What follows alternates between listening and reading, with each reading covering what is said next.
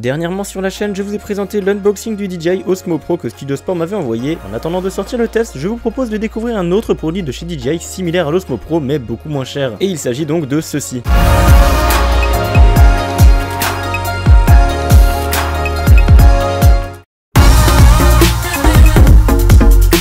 Enfin, ça c'est la boîte. Il s'agit donc d'un DJI Osmo Mobile comme vous avez pu le lire sur cette dernière. Celui-ci m'a été envoyé par Gearbest. Il s'agit d'un stabilisateur 3 axes, autrement dit un gimbal, qui permet de stabiliser les vidéos de n'importe quel smartphone afin de réaliser des plans plutôt professionnels. Quand je dis qu'il est énormément moins cher que le Osmo Pro, c'est parce qu'il est vendu au prix de 320 euros, tandis que le Osmo Pro, lui, est vendu aux alentours de 2300 euros. La différence de prix n'est donc pas moindre. Je vous laisse le lien du DJI Osmo Mobile en description si jamais il vous intéresse. En commandant via mon lien, cela me permet de toucher une petite commission sur la vente, c'est donc une sorte de petit moyen de soutenir mon travail. Bien sûr, avant de commencer la vidéo, j'espère vraiment que cette dernière vous plaira. Si c'est le cas, n'oubliez pas le petit pouce bleu en bas de la vidéo, le commentaire et vous abonner à ma chaîne YouTube ou me suivre sur mes réseaux sociaux qui se trouveront en description. Sans plus attendre, on va donc ouvrir la boîte afin de découvrir ce qu'il y a à l'intérieur, puis on pourra ensuite passer au test et à la présentation des différents paramètres disponibles. À l'intérieur de la boîte blanche, on retrouve une seconde boîte noire. Elle s'ouvre comme un genre de coffre. On tombe directement sur une panoplie de manuels. Ceux-ci sont d'ailleurs en toutes les langues si jamais ça vous intéresse. Vous avez évidemment le français. On a également comme d'habitude le sachet de silice pour éviter la prise d'humidité de l'appareil vient ensuite un petit carton noir à soulever et on retrouvera sous ce dernier la batterie du Osmo Mobile. Vous remarquerez que cette batterie est exactement la même que celle du Osmo Pro, Osmo Plus, Osmo Simple, bref, vous l'aurez compris, tous les Osmo. On a ensuite le chargeur qui est un petit peu particulier car le Osmo Mobile se charge par sa prise jack. Ne branchez donc surtout pas cette prise sur la prise casque de votre smartphone, ça le grillerait instantanément. Aucun transformateur n'est fourni dans la boîte, vous devrez donc utiliser le chargeur de votre portable ou le brancher sur n'importe quel port USB comme celui de votre PC par exemple. Il est même possible d'utiliser le Osmo Mobile pendant sa charge par exemple avec une batterie externe pour faire durer la batterie beaucoup plus longtemps. Une Dragon est fournie dans la boîte afin de sécuriser son Osmo également. Dans la partie supérieure de la boîte, on retrouve une sacoche de transport pour emmener votre stabilisateur avec vous sans devoir le mettre en vrac dans votre sac à dos et donc ne pas le casser. Il ne reste maintenant plus que le Osmo Mobile à sortir qui est d'ailleurs très bien calé dans sa mousse donc il ne risque rien du tout pendant le transport. Comme vous pouvez le voir, la poignée du Osmo Mobile est exactement la même que tous les autres Osmo, sauf que sur celle-ci on ne peut pas détacher la partie supérieure pour y installer une autre caméra. Sinon les boutons sont les mêmes, on retrouve le joystick pour manœuvrer manuellement la nacelle qui tient le smartphone, le bouton de prise de photo ou de prise vidéo, le bouton d'allumage sur le côté droit et pour finir la gâchette arrière. Sur le côté, on a le pas de vis universel pour y fixer des accessoires comme sur tous les Osmo et à l'arrière la prise jack qui sert de prise de micro et de prise de charge à la fois. Pour placer votre smartphone, vous retrouverez une molette à l'arrière qui permet d'écarter les patins.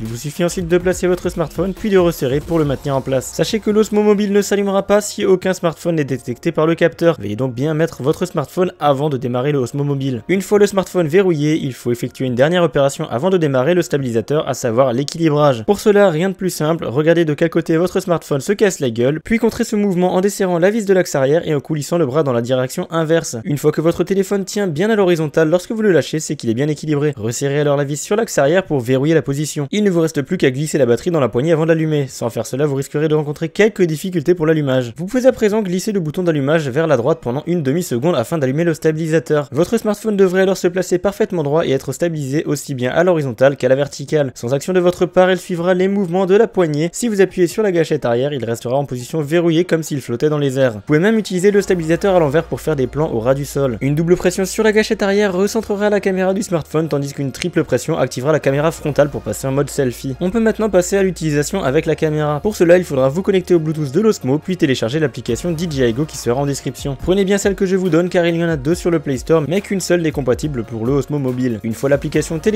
et lancée, swipez plusieurs fois vers la droite pour atteindre la rubrique Osmo puis sélectionnez le Osmo mobile dans la liste. Cliquez maintenant sur Connect your device puis cliquez sur Connect à côté du Osmo pour vous y connecter. Le bouton caméra apparaît donc en bleu et il ne reste plus qu'à cliquer dessus pour lancer la caméra. Vous avez donc sur la gauche dans l'application le switch entre le mode photo et vidéo, le bouton vous permettant de sélectionner les différents modes, évidemment le bouton pour prendre la photo ou lancer l'enregistrement vidéo, puis le bouton pour passer en mode selfie sans toucher la gâchette ou encore l'accès à la galerie. Pour le mode photo comme pour le mode vidéo, vous avez le choix entre différents modes. En cliquant sur l'appareil sur le côté droit, vous accéderez à d'autres paramètres comme la résolution, le mode, la balance des blancs, le flash ou encore l'affichage de la grille sur l'écran. Sur l'icône juste en dessous, vous pourrez changer certains paramètres qui sont liés à la nacelle tels que le mode de scène ou encore la détection du portable pour l'activer ou la désactiver selon votre choix. Et enfin, une dernière panoplie de paramètres est disponible en cliquant sur le dernier bouton. Vous pourrez modifier le niveau de tracking, la qualité des panoramas ou encore l'emplacement de sauvegarde des photos et vidéos. Dans le second menu, vous pourrez régler la vitesse de rotation de la nacelle avec le joystick. Il est possible de sélectionner trois vitesses différentes selon votre choix. Vous avez également d'autres paramètres qui influent sur la nacelle que vous pouvez activer ou non. Il reste ensuite les paramètres généraux qui ne servent pas vraiment à grand chose, et enfin la possibilité de diffuser la vidéo en live sur différentes plateformes. Bon, concrètement, ça donne quoi en action ce truc? Je vous propose donc un petit test en extérieur. Le Osmo Mobile possède une autonomie de 4 heures, vous avez donc largement de quoi faire contrairement au Osmo Pro qui lui tient bien moins longtemps avec la même batterie. Pour les tests, je vais vous filmer plusieurs séquences vidéo en marchant et en courant avec et sans le stabilisateur afin que vous voyez bien la différence entre les deux prises de vue. L'application propose également un système de tracking que je vous montrerai. Pour l'activer, il suffit de cliquer sur le bouton en bas à gauche de l'écran puis d'encadrer le sujet de votre choix à l'écran pour que la caméra le suive automatiquement. Et on finira par le test de plusieurs autres fonctions qui sont proposées directement dans l'application. Sachez que vous n'êtes pas obligé d'utiliser l'application DJI Go pour pouvoir utiliser le Osmo Mobile. Vous pouvez très bien placer n'importe quel smartphone et utiliser simplement la caméra de ce dernier. Autrement, je n'ai plus rien d'autre à dire à propos de ce stabilisateur étant donné qu'il ne s'agit que d'un stabilisateur pour smartphone. La qualité de votre vidéo dépendra évidemment de la qualité de l'appareil photo de votre smartphone, ce qui est totalement logique. Je vous laisse donc sur les images du test en extérieur, j'espère que la vidéo vous a plu, n'oubliez pas le petit pouce bleu et le commentaire si c'est le cas. Vous pouvez également me suivre sur ma chaîne et mes réseaux sociaux qui sont en description, et moi je vous dis à la prochaine. Ciao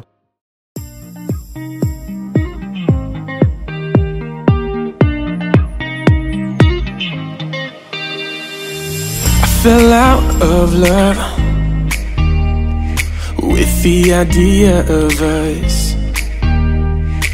Cause I want but don't need somebody like you loving me. I used to light up when you texted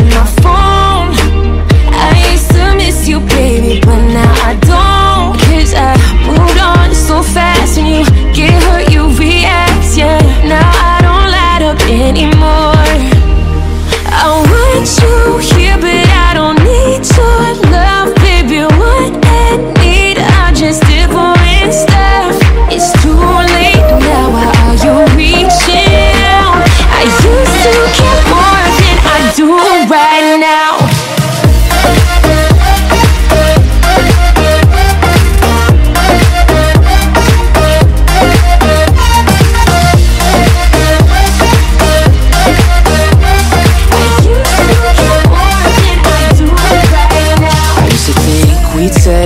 do. Guess that I cared more than you. Cause then you waited so long. Think it's time we move on. It's time we move on. You probably think that I'm still pacing the